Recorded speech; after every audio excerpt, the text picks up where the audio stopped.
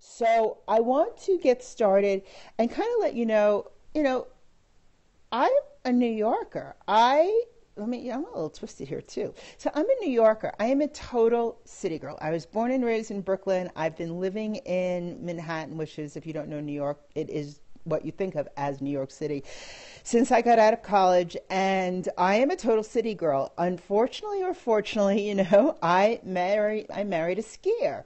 And um, when I met my husband, it was probably God, it was the first time I was out here. It was really funny. It was probably like 18 years ago, 19 years ago. So I've been coming out here for a really long time. And um, as a skier, it's a really great snow day.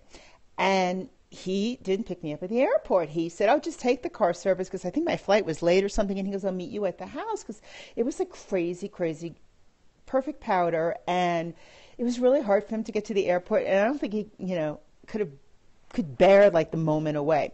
So I got the car service and I came out here with a friend of mine and the, we told the driver, you know, the address. And he goes, yeah, yeah, yeah, yeah, sure, sure, sure. And he dropped us off at some house and I had my big suitcase and I packed all my snow boots from New York because, you know, I wasn't taking any chances. And I go into this house and I'm like, this doesn't look like Michael's house. I don't think he said this place wasn't like that nice, but like I didn't think it would be like this bad, you know? And I'm walking around and then all of a sudden we go to the kitchen and I look at the refrigerator and I'm like, he doesn't have kids. Who's this woman? And I realize that this cab driver dropped me off at the wrong house. So this was pre cell phones. Remember, this was like 18, 19 years ago. So I'm like, what the hell do you do? And it's like, it's got to be at least 18 inches of snow. So I had my suitcase. I had what I thought were my really good warm snowshoes, but they obviously were not. So my girlfriend and I trudged suitcase snowshoes out in 18 inches of snow, dragging it out until we got to the road and we flagged down one of those big old yellow cats. You know, the, the they have them on the mountain to do all the snow moving. So we flagged down this cat and told the driver where we were going. And he goes, "That's not the address." And he goes, "Get on." So he took our he took our suitcases and he threw them in the back of the cat in a cage. And we went, you know, side saddle on the side of the cat, and he drove us right up to the road to here. So like I kind of got to Wyoming side saddle on a cat. And what I realized was that those snow boots that I brought from New York, which were perfectly, here's Mr. Poodle, by the way, which were per- perfectly fine and functional in the city, were like squat in Wyoming.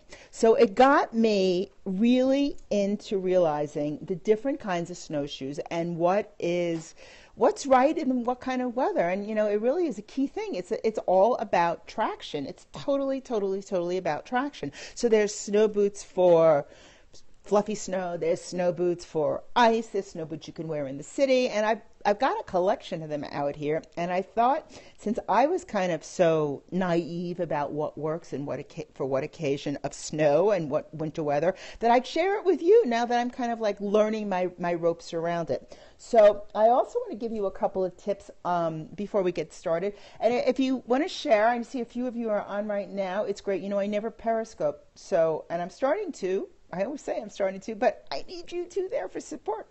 So if you're there, give me a couple of hearts right now. If you would like to share this to your friends on Periscope, now's the time to share it. And um, I want to, before we get into to um, boots, I want to talk to you about another winter thing that's really important out here, and that's hats. And one of the things is like this is my um, now my hair's going to be removed for the rest of it. This is my favorite cashmere hat. I wear this. I carry this in my bag in um, New York almost all the time. In the winter, if it gets cold, it's really great. It's thin. It's cashmere. It's breathable. It's wonderful. While I've been out here, we have had minus 25 nights. I have woken up in the morning to minus 17 and minus 11. It has been the longest cold spell that we've been at our house since any of us can remember. This hat is like wearing a bikini in Antarctica. It ain't happening. So one of the knit hats that I did buy this week, and I wanted to tell you guys about it because it's something to look for, is I got it in a ski shop. It's kind of cute. I kind of like it. I've been wearing it a lot. I probably will be wearing it a lot this winter. I'm taking it back home with me. And one of the things to look for when you're getting a winter hat that really keeps you warm and doesn't overheat, because you know sometimes a lot of these winter hats, it's just like you you just like you could die when you walk into a store for a second. So this hat has what you should really look out for, and it has. Can you see it up here? It has a band of polar fleece inside around your forehead, so that keeps it extra toasty and extra warm. And I really love this because it has the weave. See, I have my fingers through it. Um, that it'll get some air in it, so you won't overheat. So this is really a fantastic hat for cold weather, and I have, oh my God, 50 hats out here. And the one I usually wear the most is probably the one I got on my second trip out here because of the polar fleece. And um, it's, I'm finding more of them. And this year in stores out here, this one is by a company called Cole. I'm finding this year in stores out here in Jackson that there's much more hats that have this little polar fleece. But this is a really, really great tip. So, um, anyway, are you on? Are you there? You want to learn about snow boots? You ready? Okay. So, you know, it has been friggin' cold out here. And um, I got my new snow boots from New York, and I kind of wear them all the time. They're like my, I call them like, in Jackson, they're like my evening boots because you can't go for long walks in them. It's just too icy. And these are, I think I got them on gilt.com. It's from Australia Luxe. And um, see, they're actually really nice, and they're shearling. I'm not a fan of fur, but when it comes to cold feet, I do wear shearling. And um, what I love about these is that they have a really soft. Can you see them? I know. I'm like, let me try to get further back. So they have a really soft inside, so you don't have to wear socks. It's like, how cool is that? And you're not cold. Your feet are not cold. So I absolutely love it. Saves your pedicure, lets it last longer because you know how like heavy boots and socks sometimes chip away at your pedicure. This is great. Get, actually, your feet look great for a lot longer. It has one of those hidden wedges so that here I should show you the nicer side. It has one of the hidden wedges on it, so you get a little height, and it's flat. So when it's icy and cruddy out, it's easier to walk. But this is why these boots are great for fluffy snow and they're great for city snow. You know, light weather, winter weather, they're great going in and out of your car. They're easy to drive because they're flat on the bottom. But here's what's horrible when it's really icy out, and it has been days here where it's really icy, this sole does not do the trick. So even though they leave a cute footprint, see how there's the ridges on here? This is i'm telling you it is like all about traction. Like i am you know i must i own i don't know how many hundreds of pairs of shoes. I love good shoes. It took me trust me a really really long time to get into shoes that are all about traction to be out here in wyoming. Trust me it was a toughie. And like this is my it doesn't you can't you can't poke around on high heel boots out here in and out of the car, maybe a chunky heel when it's starting to get warm and there's no snow on the ground. But when it is as cold as it is now, uh uh uh uh. So, anyway, see this ridge on this sole. The ridge on the sole, if you look at it, you see it's not very deep. See? That's great for snow, fresh snow, fluffy snow, city streets. Eh, normal ice, not too, you know, like maybe like 30 degree kind of ice.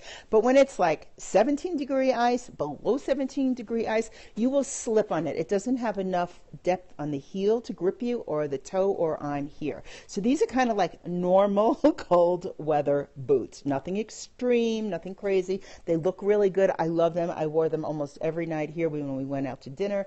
But when I would walk Mr. Poodle in the morning, I couldn't really get past the driveway unless I wanted to break my neck. So not enough traction. That's the other thing. Now, if you want a boot that has crazy good traction, which is probably not the most gorgeous boot, but they, they're really good for their purpose.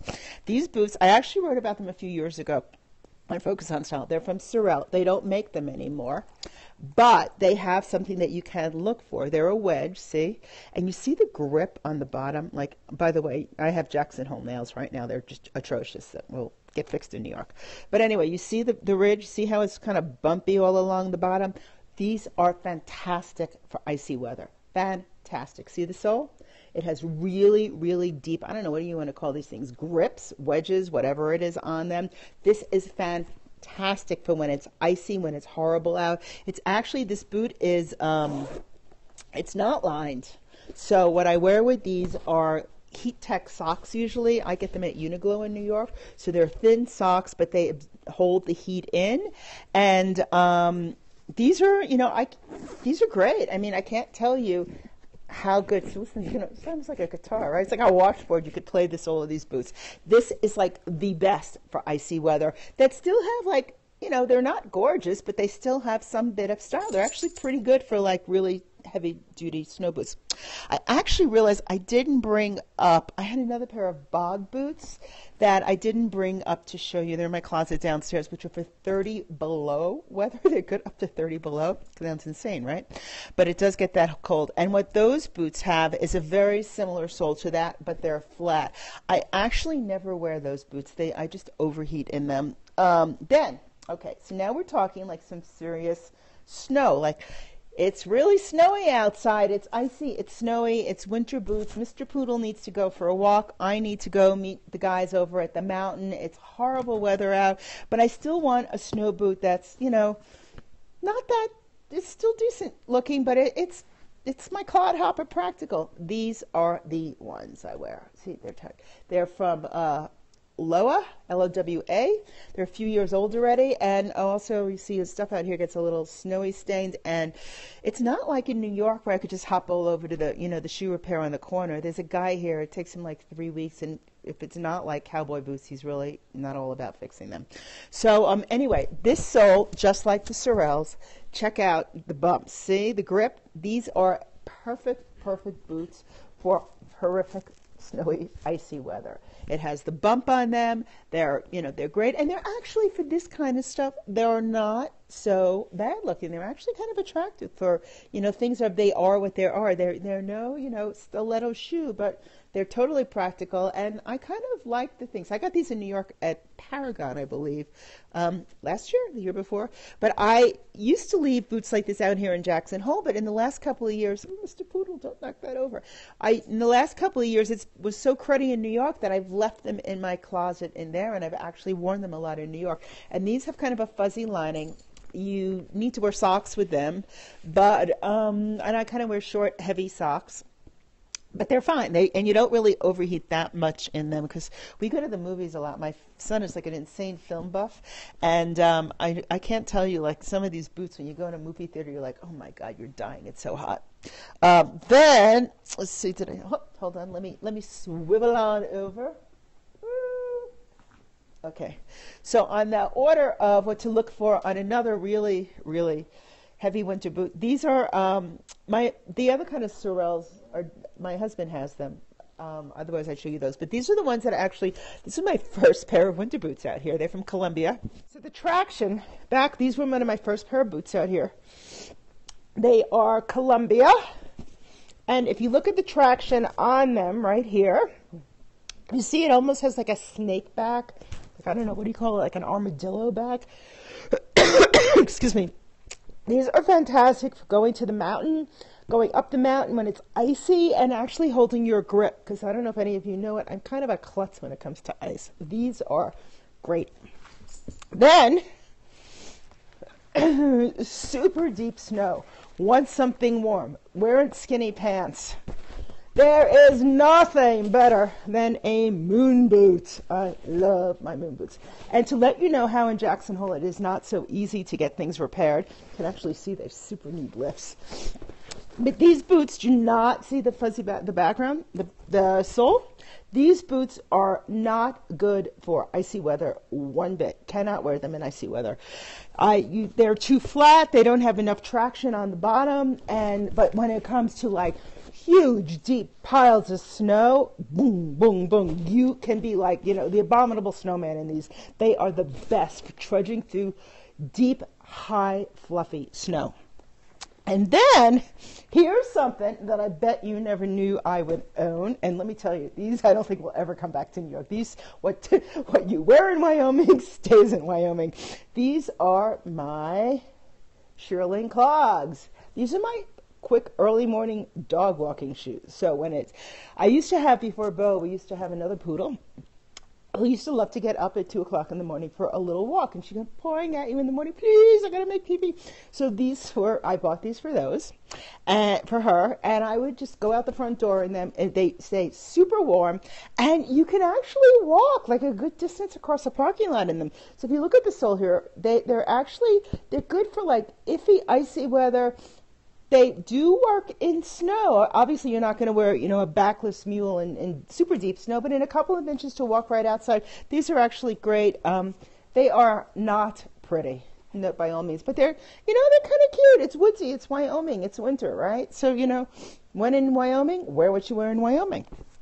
So the other one I want to talk to you about is another pair of boots, and it's a trick that is really great if you live in a city and you buy a pair of shoes you really like, but they're not snow boots. They're they're not for the winters. This is something I do all the time. These are one of my oh god, these are so old. I wear these constantly, and I always take them out here because I they're from Barneys because um, I love the toe, I love the chunky heel, and they are in cruddy condition, and when the weather is terrible here and I want to wear a real boot, I can wear these. So there's two tricks to these boots. One, take them to the shoe repair and you put a rubber sole on it. Rubber sole on a boot, it's like 30 bucks. No big deal. Big secret, the big reveal. Shearling boot liners. The friggin' best. This is something that I cannot even tell you how great they are. Shearling boot liners. You can get them online. Hold on one second. I need to sorry this is why i wasn't skiing because i have a cold out here and my breathing has been horrific this whole time. It's just i don't know what probably because it's been 18 below. But anyway so the shearling boot liners are just they're the best. They're just the best. You put them inside. These are suede boots and um, get them true to size. Sometimes it's okay too if you get them like a half size larger and because they do flatten out a bit and then they won't scurry back and forth in your shoe. Put them inside your a regular pair of boots and get spend 30 bucks or so and get a rubber sole put on it and instantly you have like good winter weather boots that are your regular boots and, and they're nice and warm and they're comfy and um, that's about it so now i have this huge collection of boots behind me i was going to show you a little bit i don't know if anyone's on there right now i see a few of you on you want to say hi I can see you're there. So anyway, um, I wanted to show you our. We usually don't do. Can you see it here? My my fireplace. How do I get it up there? You can see my moose, right? We usually don't do Christmas decorations out here, but honestly, we left them here last winter. We forgot to take them back to New York, so we've been getting a little carried away. There's my moose menorah. I'm very proud of my moose menorah. Do you see it? And you know, um, this is a really busy time of year. We have Hanukkah, Christmas, my son's birthday, our anniversary. So we really like, you know, we're big on our holidays for this time of year. But anyway, um, so you see some of my cute ornaments up there. We have it's mostly wildlife. So we have wildlife, we have moose, we have elk, we have bears, we have fox, we have things that make sense to us here. So there's ski boots and cowgirls and cowboy boots and skiers acorns, birds, bears, elk, you name it, we have all our backyard things. We don't, in New York, we actually have poodles on our tree. We didn't see a poodle ornament out here. But we're going to take some of these back home with us. And we even have a um, Star Wars uh, stocking, excuse me, and on the Oh, excuse me. And on the other side, we have a cowboy boot stocking. So we're, we're prepared for everything out here.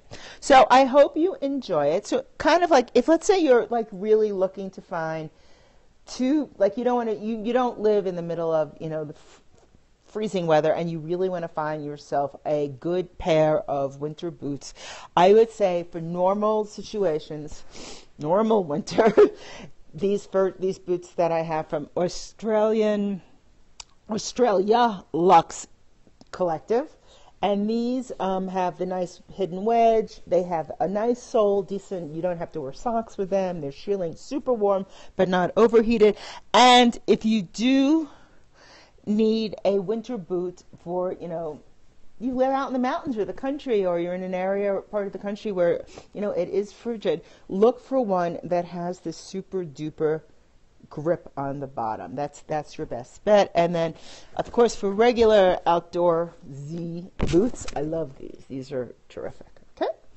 So um, I hope you got some advice from this. And um, as you know, I'm Sharon Haver from FocusOnStyle.com. I am uh, when I'm on Periscope, I usually like to talk about style and success because even though I've been in the style business for uh, three decades. I have also run my own business and have been an entrepreneur and launched Focus on Style back in 1999. So I know quite a bit about marketing too, and I want to go in that direction and help other boss ladies on on Periscope too. So what you can do is I have here my little. I'm sorry I'm sitting on the floor, but honestly, you came in late, I had to rig this system. We're in my um, we're in my place in Jackson, Wyoming, and I did not take.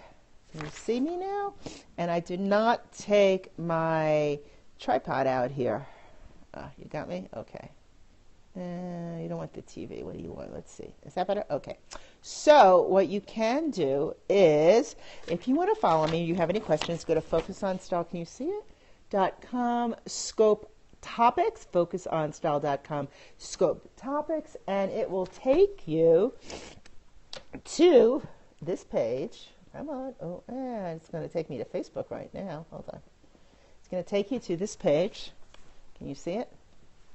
And on there, you can answer, ask me whatever question you'd like me to scope about. So um, I will be back in New York soon, and um, hopefully not talking about snow boots there. Hopefully the weather will be a little bit better. It's been pretty warm out there. And, um, you know, let me know what you want. And while you're on Focus on Style, don't forget to sign up for my free downloadable Passport to French Chic Style Guide and get on my insiders list because I share things by email that I don't share to you on Periscope or on you publicly on the site because I consider you one of my VIP insiders and give you special promotions and offers and things that I'm working on. And if you're there right now, you have probably received, and I'll, you'll probably be getting a follow up about a very, very special, um, mm, I don't know what I want to call it, style mentoring program that I'm coming up with. And it's going to be very limited, very select group of a small bunch of ladies. So you only know about it if you're on my if you're on my list. So beyond the list, you can also go to focusonstyle.com forward slash um, Insta style, Insta style, like Instagram. I know we're on Periscope, but I set it up for Instagram. So I N S T A style will also take you to it, or just go to focus, focusonstyle.com and there are like 150 million ways plus sideways to get on my list. So, hope you enjoyed it. See you soon. Thank you for coming to Jackson Hole. And don't remember, if it weren't for the last minute, nothing would ever get done. See you soon. Take care and keep on styling, okay? Any other quick topics? Don't forget, focusonstyle.com, scope topics. You'll get there and ask me whatever you want. If you have anything else you want to add to this scope right now that you want to ask me, go over to Twitter at Focus on Style and just ask me right there. I'll talk to you soon. Take care. Bye bye.